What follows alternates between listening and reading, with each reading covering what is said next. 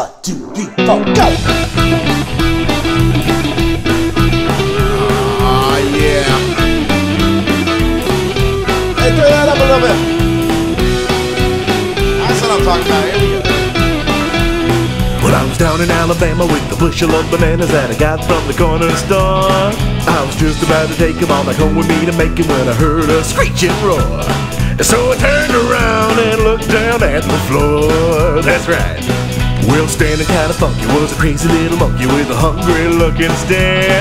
He was eyeing my bananas and it seemed like he demanded put my hands up in the air. So I told the monkey I ain't got no bananas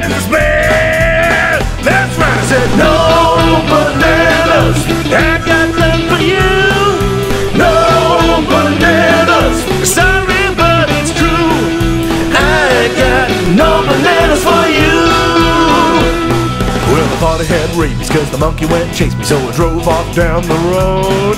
But with very little strain, and soon the monkey started gaining, chasing after my payload. It was a most extraordinary episode. And about the time I spotted a tattoo that had been dotted with a number on his thigh.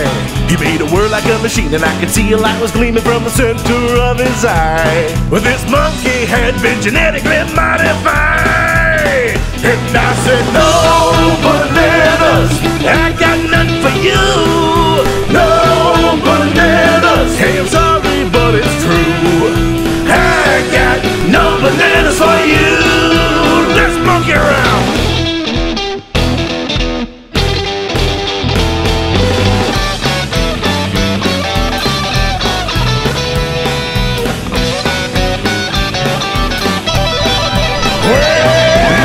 followed me for miles, and it seemed after a while I could never get away.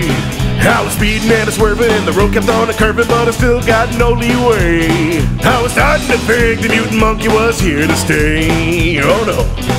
Well, I thought that I had lost him when I found myself in Boston, quite a long, long way from home. So I pulled myself over and I stepped out of my rover and I wiped my sweaty dome. But that monkey was right there clinging on the ground. No, no, no, no, no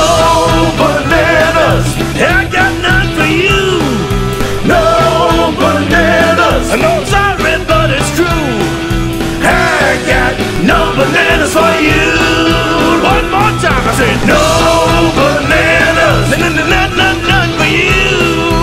No bananas. Yeah, sorry, but it's true. I got no. That's right, I got no bananas for you.